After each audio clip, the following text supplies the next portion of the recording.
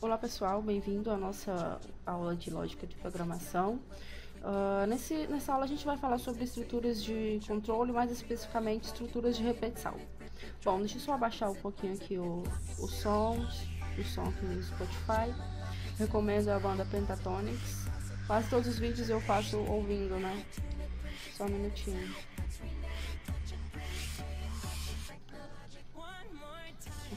Baixar aqui, vamos lá. É...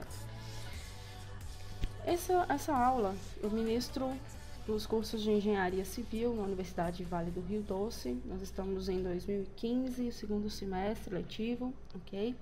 Bom, uh, faz parte de um conjunto de aulas de fundamentos da programação.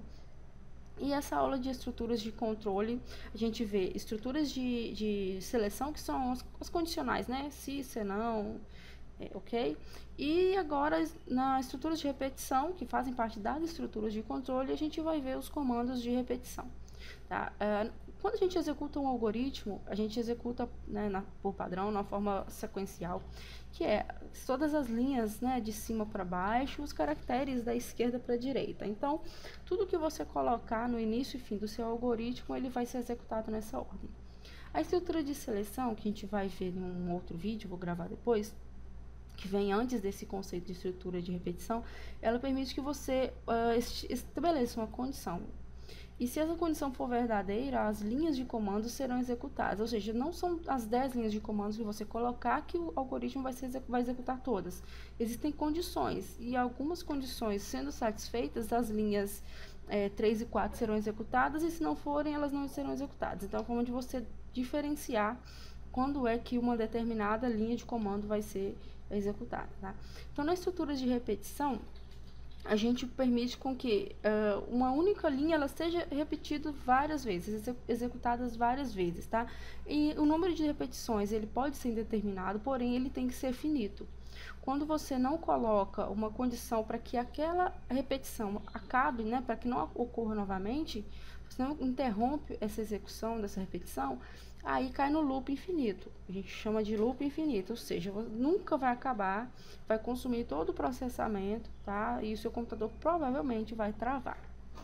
E não é esse o objetivo da estrutura de repetição, né? A gente quer que execute várias vezes o mesmo comando para que você não tenha que ficar digitando de novo, ok? É, e também porque isso vai depender do, do usuário, da forma que ele está utilizando o sistema, ele é que vai definir o que vai ser executado em, em repetidas vezes. É, você só vai prover para ele mecanismo que isso aconteça. Então, o, o controle sai do programador, de certa forma, fixo do programador, e cai na mão de quem está utilizando o programa. Okay? Bom, nas estruturas de repetição, a gente tem um exemplo aqui nesse, nesse diagrama, é, em que a gente chama de loop. Cada vez que repete determinado bloco de comandos que está dentro do bloco de repetição, a gente chama de loop. Ele vai rodando, ele vai repetindo, vai criando um laço, ok? Então, tem a condição para que seja repetido ou não, e se for verdadeira, as instruções de, de dentro desse laço vão sendo executadas, e assim você vai voltando vai verificando de novo a condição. Caso seja falsa a, a condição, aí sai da, do loop. Seria no caso se eu falasse assim, é, eu quero ouvir uma, a, a, música, eu quero que o programa toque uma música toda vez que eu apertar o, o, o play, por exemplo, enquanto o, o enter estiver apertado, pressionado. Se você, aí o programa sempre vai ficar fazendo a verificação.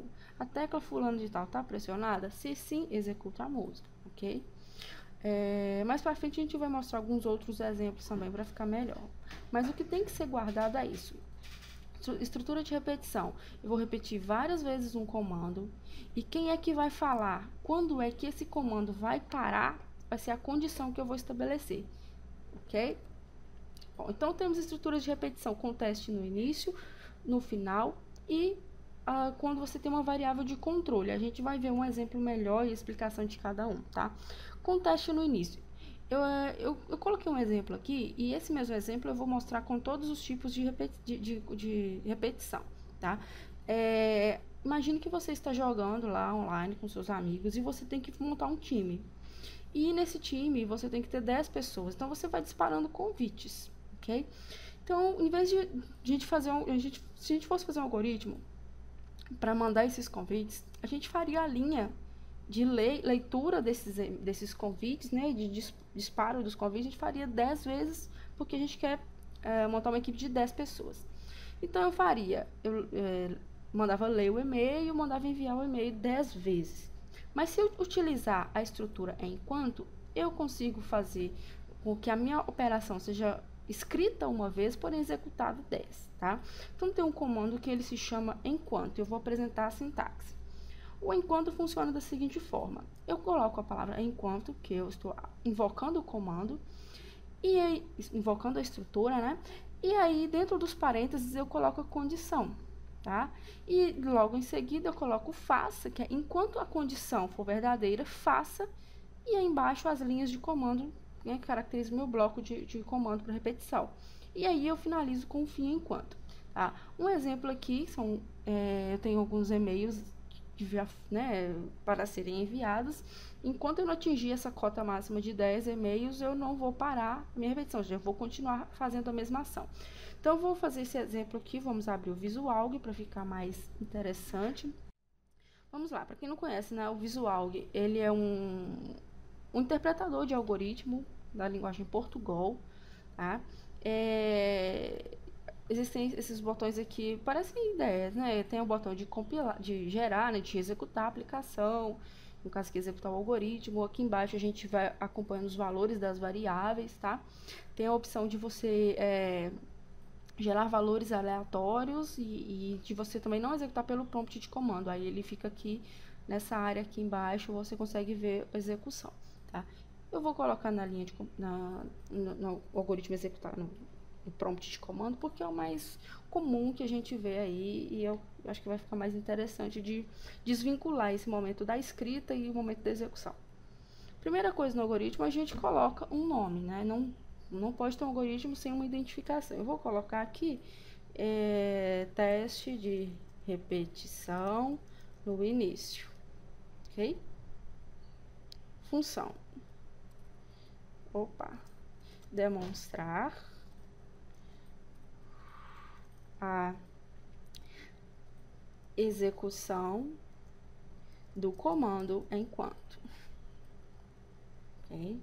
Autor, claro que sou eu. Então você tem que colocar o seu nome, ok? A data ele já traz por padrão quando você abre o programa já tem uma, um, um algoritmo, né, dentro desse programa interpretador de algoritmos que coloca a data atual, tá? Então beleza eu não começo, eu tenho o costume de não fazer assim, começando pelas variáveis. Eu vou começar o meu algoritmo pelo, pelo, pelos passos que eu preciso dar, tá? Que o programa tem que dar para executar a minha ação. E à medida que eu vou vendo que é necessário criar variáveis, eu vou, volto lá, eu volto lá na seção de criação de variáveis e declaro, ok? Lembrando que declarar uma variável é criar uma variável na seção de var, né? Variáveis. Bom, eu preciso fazer então, gente, um é, uma aplicação, um exemplo aqui, para mandar 10 e-mails, okay? para coletar 10 e-mails e enviar e-mails, tá? Então, eu vou fazer aqui a parte de... O que, que eu tenho que repetir, né? Eu tenho que repetir o leia, ok? Leia o que? O e-mail. E eu preciso salvar isso em algum lugar, porque o comando leia me pede um lugar para guardar esse dado. Criei uma variável e-mail, eu usei uma variável e-mail, então vou criar ela aqui em cima. Essa minha variável e-mail, ela é do tipo caractere, porque eu vou guardar texto dentro dela. E eu não quero processar essa informação como para fazer algum cálculo. Então, isso é caractere. Então, vamos lá. Então, aqui eu tenho, eu vou ter que iniciar o meu início do laço de repetição. Ok? E aí, eu vou finalizar, então, fim do laço. Pronto. Então, eu sei que a ação que eu quero repetir é essa daqui, de ler um e-mail, né? E aqui eu quero, e eu, eu tenho um momento de concluir a minha repetição e um momento que eu vou iniciar essa repetição. Então, a, o comando enquanto, a, a estrutura enquanto é a seguinte, eu escrevo a palavra enquanto, coloco então uma condição aqui dentro, ok? É isso? A sintaxe. E mando fazer. Enquanto a condição for verdadeira, faça, não é isso? E eu vou colocar o fim enquanto. Pronto. Mas aí não vai funcionar, por quê? Porque eu tenho que falar que condição é essa, tá? É, se eu tenho um número fixo de 10 vezes, então eu vou colocar uma variável para contar até o número 10, tá bom? Eu posso colocar aqui, olha, contador.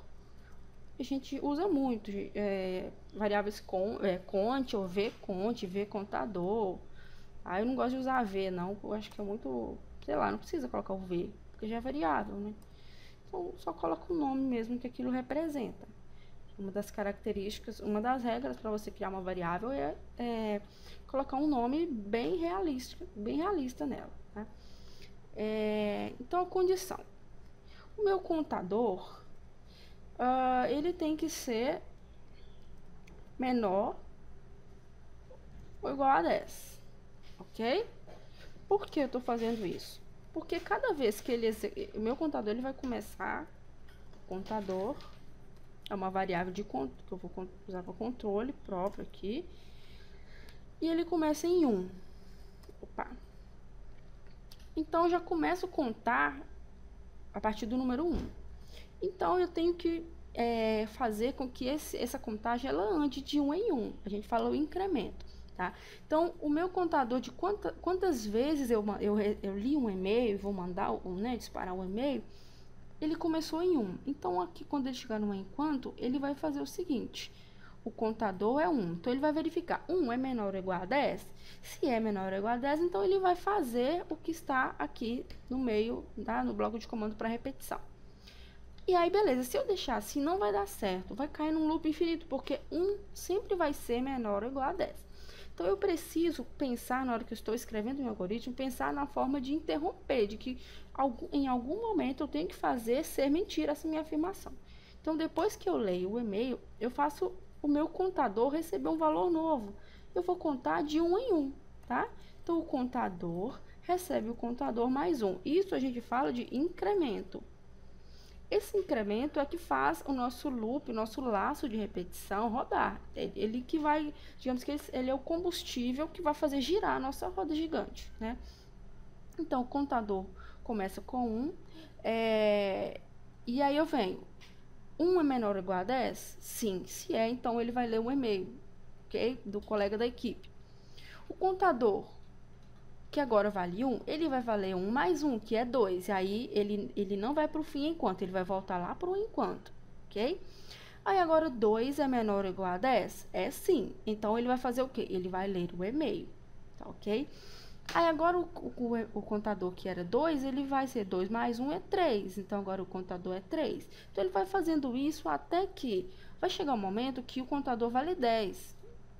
Aí ele vai verificar, 10 é menor ou igual a 10? Sim, repete. Quando valer 11, ele vai verificar, o 11 é menor ou igual a 10? Não. Então, se não é, ele não vem para o faça, ele pula direto aqui para o fim enquanto. Opa, para o fim enquanto e pronto, e concluiu, tá? Só para vocês é, testarem aqui, eu vou apresentar aqui o nosso código e eu vou fazer a execução. Tá? Primeiro, eu vou salvar, a gente não pode esquecer, tá? De salvar.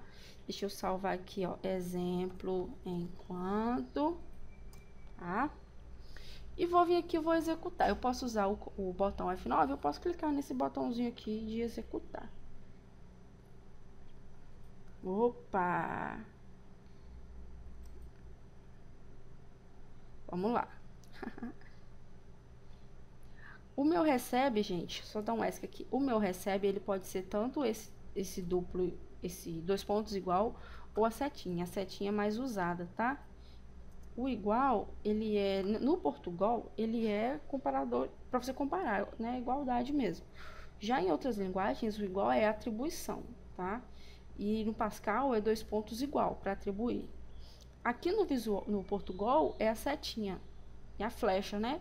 Que a setinha informa qual é, onde é que você está, qual o sentido, né, em que a informação está sendo uh, está andando dentro do sistema. Então, no, no, lado direito, esquerdo, a gente tem quem é que vai receber a informação e do lado direito a gente tem, tem qual é a informação que vai ser atribuída, né? Então, é meio que intuitivo mesmo. A setinha é uma flechinha que mostra de onde está saindo a informação e para onde ela vai.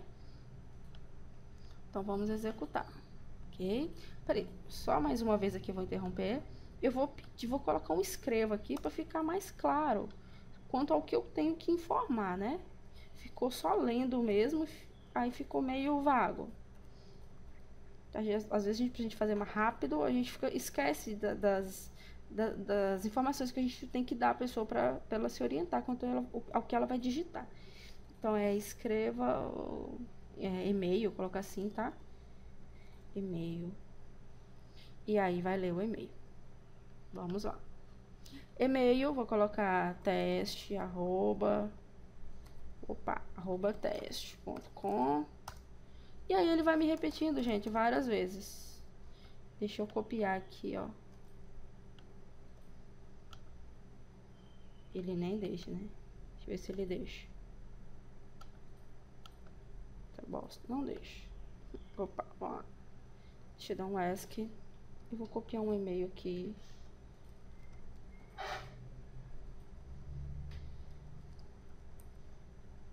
porque é muito chato ficar repetindo a mesma coisa. Por isso que, é o, que o computador repete, pra gente não ter que ficar repetindo. É muito chato repetir. Então vamos lá, ó, 10 vezes. Ah, vamos lá. Vamos lá. Uma, duas, três, quatro, cinco, seis, sete, oito, nove, dez. Repetiu dez vezes. Se eu quiser controlar, eu quero diminuir, eu quero só três vezes. E é só eu mudar aqui a minha condição. Porque vai sempre haver a verificação, né? Se a condição está satisfeita, ele repete. Pronto? Três vezes. Bom, o interessante é que aqui, se a gente fizer o acompanhamento aqui da, dos valores das variáveis, a gente vai ver. Deixa eu tirar aqui, ó, do console e vou, vou deixar ele pedir por aqui. Olha lá. O contador começou em 1, tá vendo? E o e-mail caractere está vazio. Então, eu vou colocar aqui e vou dar um OK. A minha variável e-mail recebeu o valor, que é o valor que eu digitei, o e-mail, janine.gomes.com. E o meu contador, ele teve o seu incremento. Então, ele passou nessa linha aqui de baixo, colocou mais um no número 1, ficou então 2. E aí, eu vou colocar de novo, ok?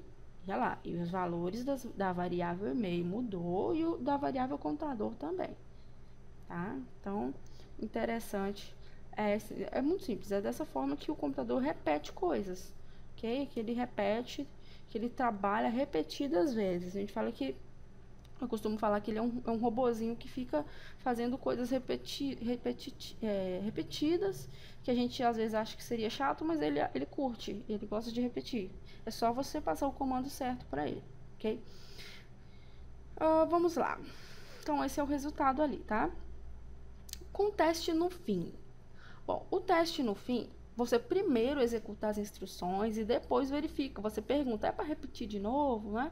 E aí a gente vai ver que isso é útil quando você quer executar pelo menos uma vez a ação. Ou seja, você não quer já barrar de cara, você quer que pelo menos uma vez aquele bloco de, de leitura de informação seja executado, tá?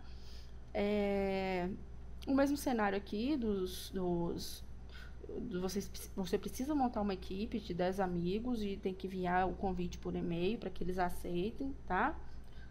É, tipo aqueles do Facebook, aqueles convites chatos para jogar, né? Muito chato. O Facebook usa loop para fazer aquele disparo, tá? Usa repetição. É, então aí a gente usa o repita quando a gente quer testar no fim, tá? A sintaxe é repita, repita o que? Aí na linha de baixo, várias linhas de comando até que a condição esteja satisfeita. Então vamos lá. Ctrl N, novo algoritmo. Vamos lá, eu preciso... Uh, vamos lá. Eu preciso fazer o que? Ler, ok? O e-mail. Então, vamos lá. Escreva e-mail. Então, eu vou falar assim, olha, escreva o seu e-mail e a pessoa vai digitar o e-mail dela. E eu vou salvar isso em uma variável chamada e-mail. Caractere. Eu sempre escrevo caractere, mas calma. Caractere. Ok. E eu vou criar uma variável contador também, ou e-mails enviados, você utiliza o nome que você quiser, mas você sabe que é para contar mesmo, né? E é do tipo inteiro, tá? Então, como é que fica a minha estrutura? Eu abro, eu inicio o comando de repetição, né? Coloco o cabeçalho dele, aqui eu finalizo.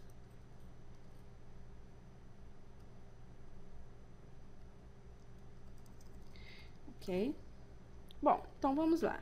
Eu, nesse cenário aqui, eu quero fazer a mesma coisa do cenário anterior. Eu quero mandar 10 e-mails para 10 pessoas diferentes. Então, eu tenho que ler os e-mails primeiro, tá? Então, é a parte de leitura de e-mails. Eu quero ler 10 vezes, mas aqui ele só está fazendo uma, né? Então, o comando repita, ele faz o seguinte. Você escreve repita, tá? E na linha de baixo, você já começa a, a fazer o bloco de, de código que você quer que ele repita. Então, ele vai na primeira vez, vai ler, repita, ok, aí escreva o e-mail, vai apresentar e-mail, vai ler e-mail. E aí ele espera uma, uma palavrinha que chama até, que é quem vai concluir o seu loop, a sua, quem é que vai parar a repetição. Tá? Então, a condição que você coloca aqui, você pode colocar assim, até que o contador seja igual a 10, por exemplo. Tá? Então, e a gente tem que inicializar. Então, a gente tem uma variável aqui para controlar, mas não é uma variável do, do, comando, é uma condição, na verdade. O comando, ele não conhece a variável. Você coloca a condição que você quiser. A gente está usando a variável é, exatamente para a gente ter esse, esse, essa forma de verificação mesmo. Tá?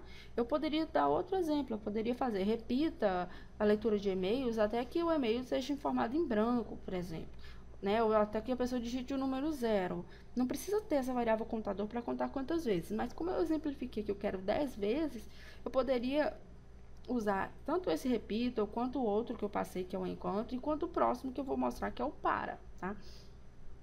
É, então, aqui no início, eu vou, como eu vou ter uma variável que eu vou contar números, eu preciso, uh, também eu preciso inicializar essa variável, ou seja, dar um, um valorzinho inicial para ela.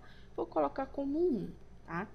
Então, vai começar a minha execução do algoritmo lá, valendo 1. Então, eu vou fazer o seguinte, vou ler o e-mail, e o e-mail, é, eu vou escrever, não, pedir o, que digita o e-mail, vou ler o e-mail, e vou fazer essa minha variável contador, receber, igualzinho da outra vez, receber ela mais 1, que é a forma de eu fazer o quê? A minha roda gigante para é, é, rodar, né?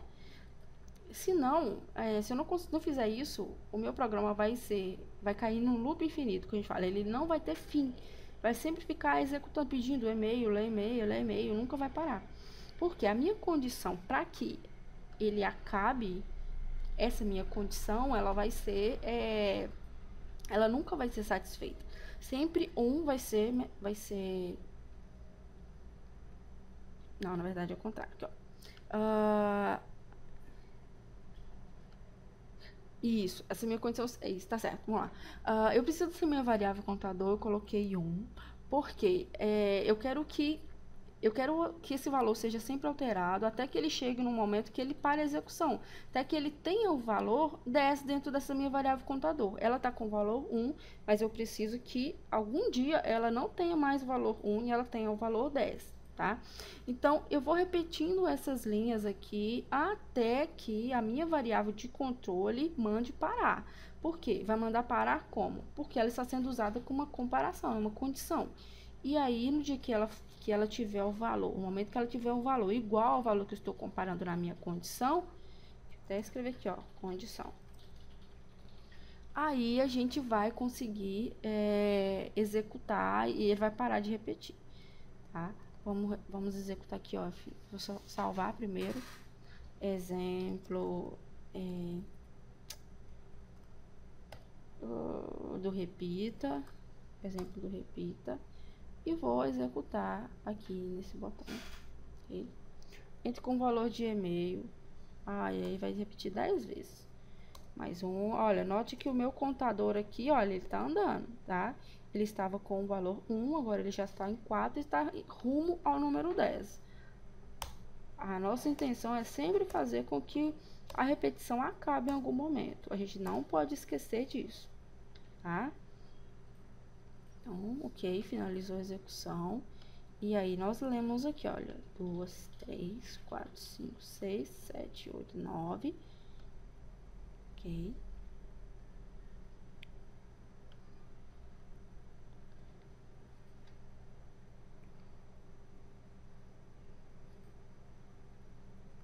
Vamos fazer o teste aqui, vamos, vamos ver. É, eu vou colocar aqui três vezes. Eu quero que o meu contador é, na verdade, o meu contador aqui, eu vou começar ele com zero, porque até agora não teve repetição. É isso? Então, aí aconteceu, não, não, não teve execução do meu bloco. Então, aconteceu a, a, execução, então agora o meu contador que era zero, agora é um. Então, aconteceu uma vez, tá? E aí, ele tem que acontecer três vezes para parar. Então, vamos lá. Opa, F5 não, afinal. Então, vou ler o e-mail uma vez, me pediu o e-mail de novo e me pediu o e-mail de novo. Então, três vezes. Então, ele leu três vezes. Por que, que eu coloquei aqui, gente? Eu mudei do zero, pro, do 1 um para o zero.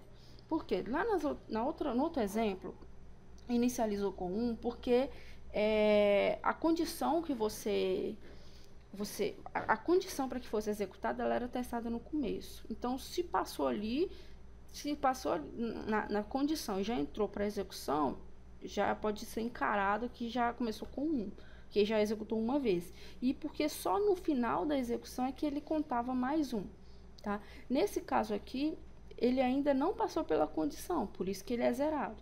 E só de fato, depois que ele executar o código, que, que a gente precisa repetir, é que eu vou incrementar o meu contador, tá? É, ou então, se eu não tivesse feito assim, eu teria que mexer na minha condição, tá? ou eu, deix, eu deixaria o contador como 1 e a minha condição seria o contador menor ou igual, tá? Maior ou igual, né? Então, vamos lá. É... Então, assim, só exemplificando, só fazendo uma comparação. O enquanto eu testo no começo, né? Aqui, não é que eu repito, o enquanto eu testo no começo, e o repito eu estou testando no final, ok? Aí ficará atento porque sempre vai, mexer, vai modificar a forma como, é, como você inicializa o contador, tá? E aí, por fim, tem uma repetição com variável de controle na própria estrutura do comando, ok?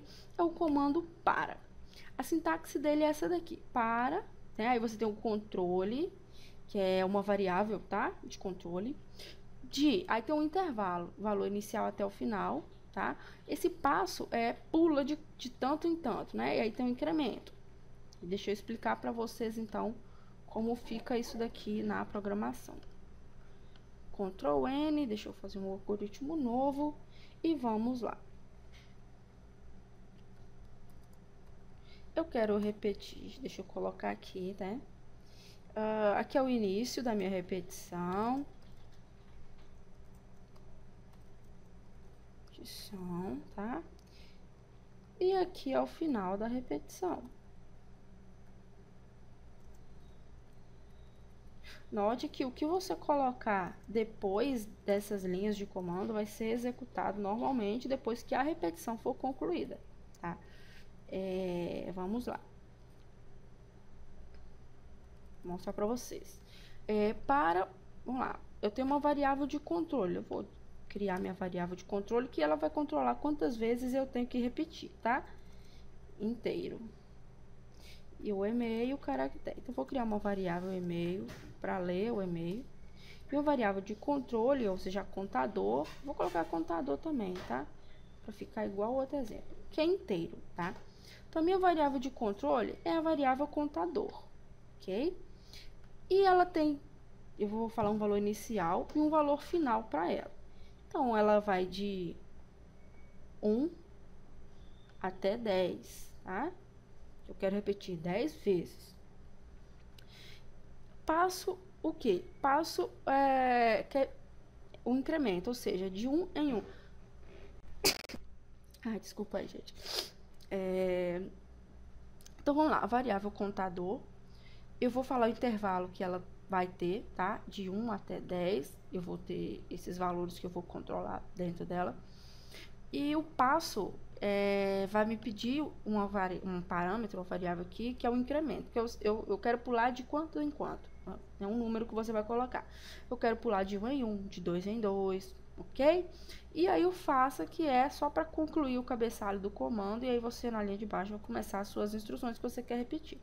Então, da, mesma forma que eu fiz no outro, vou dar um escrevo, vou colocar e-mail, tá? Então, eu vou ler o e-mail que a gente precisa ler dos amigos para mandar o convite para o jogo. Então, vamos lá. Esse meu algoritmo simples, que faz uma repetição de 1 até 10 de uma leitura de e-mail.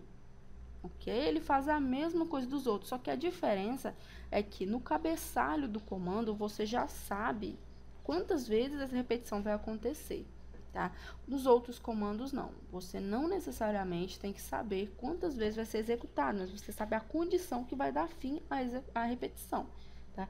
Nessa estrutura, não.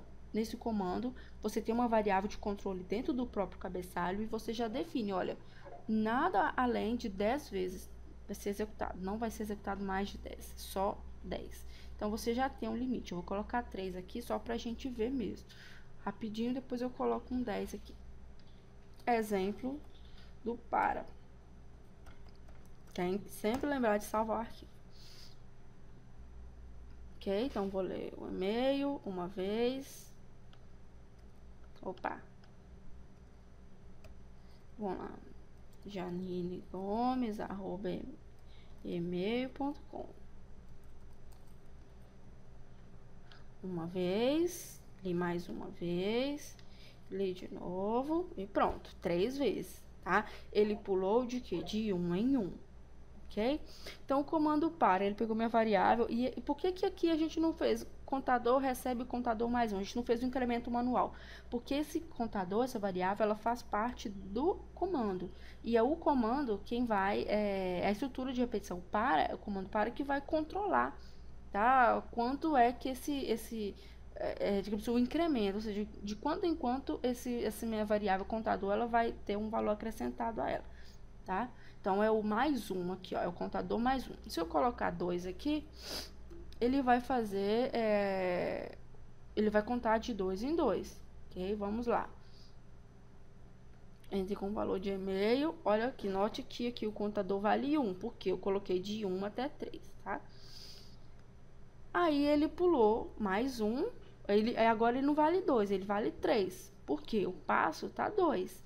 Eu mandei ele incrementar de 2, tá? Então, que o i, o meu, o, desculpa, o meu contador que valia 1, um, agora ele vale 3, porque foi 1 um mais 2. Ok? Então, ele vai executar só duas vezes. Tá joia? Então, basicamente é isso. Então, a diferença, é, é, o que a gente tem que lembrar desses comandos é que a gente consegue fazer com que o computador execute tarefas repetida, repetidas vezes. É, basta que você coloque qual comando você precisa tá, para fazer com que ele repita. Mas cada comando tem uma situação que você tem que. É, ele é mais adequado para determinada situação. O, o repita e o enquanto, você não precisa saber quantas vezes aquela repetição vai acontecer no momento que você está escrevendo o código. Mas lá no comando para, você já tem que saber, porque a estrutura de declaração do comando, ela pede o valor final da execução. Ok? Bom, então é isso. Espero que tenha sido tenha ficado claro e qualquer dúvida também, você pode, pode comentar aqui, né? Ou então mandar para o meu e-mail. Fique à vontade, ok? Ou no meu Facebook, ou na minha página. Deixa eu mostrar minha página aqui, a fanpage. Tem uma página no Facebook onde eu posto diariamente. Deixa eu ver aqui, está aqui, diário de uma programadora. Eu posto diariamente, é, ou quase diariamente, né? Experiências de programador mesmo, algumas coisas que, algumas ferramentas que eu estou testando, algumas coisas que eu descubro estudando, eu compartilho. É um diário mesmo, é algo bem pessoal, eu não faço propaganda, nada disso. Eu só posto as coisas que eu faço mesmo e, e interajo com as pessoas que são programadoras também, né? E, e eu, tô, eu tô fazendo alguma série de vídeos com conteúdos mais acadêmicos para ajudar mesmo os meus alunos da universidade, e, né? As pessoas também que querem aprender um pouco mais sobre banco de dados, análise de sistemas, essas coisas assim, que, que alguns programadores, programadores acham meio chato, né? Mas é interessante saber, tá? É, então é isso. Convido vocês a curtir a página, se vocês acham que o conteúdo é relevante para vocês, ou se é interessante, tá? É, e eu pretendo voltar com mais aulas, as aulas de estrutura de controle mesmo, falar sobre estruturas de seleção, se, se não, tá? Seleção encadeada, seleção múltipla, que é o escolha, né? É, o interessante dessas aulas é que elas são aquelas aulas de fundamento mesmo, bem, bem básicas. Porque quando você vai cair numa linguagem, aí você já, já consegue. É, é, você vai ver que as linguagens funcionam praticamente da mesma forma. Você vai mudar a sintaxe, a forma de abrir um comando, a forma de encerrar o comando, mas o conceito de repetição vai ser sempre o mesmo. O conceito de você precisar de incrementar um valor para a sua sequência de, de para sua repetição funcionar é o mesmo. A forma de você declarar variável às vezes, às vezes, pode mudar, mas você em todas, em todas as linguagens você precisa de uma variável, tá? Ou de uma é, constante, enfim, você precisa de lugares para guardar informação. Então, essas aulas de fundamento, elas são interessantes para quem tá, quer começar a programar e não sabe por onde começar. Então, comece por lógica de programação, estude algoritmos, depois você cai numa linguagem aí, tá joia? Gente, obrigado pela companhia, galera. Até mais. Continue acompanhando o canal aí. Dá uma força pra gente.